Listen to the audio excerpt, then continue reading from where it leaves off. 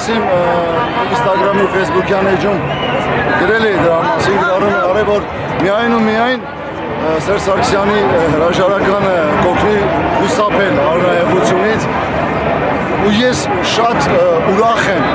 ուրախ եմ, որ Սերժ Սարգսյանը վարչապետը կատարեց ճիշտ որոշում ու այնպես արեց, որ ժողովուրդը իրոք, իրոք այսօր տեսեք տոնախմբության մեջ է։ Պարոն Սարգսյան, շնորհակալություն ձեզ, որ այդ քայլին գնացը։ Շատ շնորհակալություն ձեզ։ Ես ուրախ եմ, որ այս ժողով, ես այսքան հայ, այս 10 տարվա մեջ միտեղ ժպտալուց չէի տեսել։ Շոր հավոտ, Ժպտալուց շոր հավոտ, շոր հավոտ։ Աստված թող օրհնի հայ ժողովրդին։ Թող ոչ ոք չփորձի այս ուրախությունից հետո ինքը դիվիդենտներ հավաքել, այլ բոլորը